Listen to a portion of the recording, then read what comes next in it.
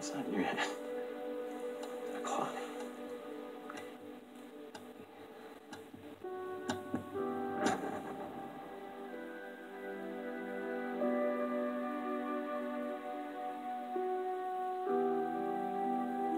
I have to go.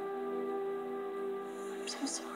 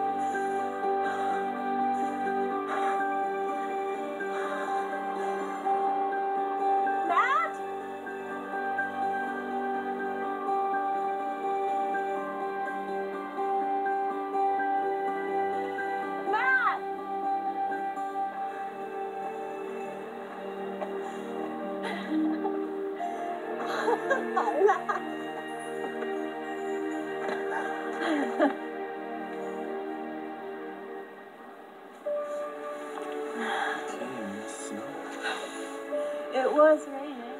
I know. I've been here ever since I gave the clock to Grandpa to give to you. You were here. I was here. Well, we must have just missed each other. Someone once told me timing is everything. I've heard that somewhere before.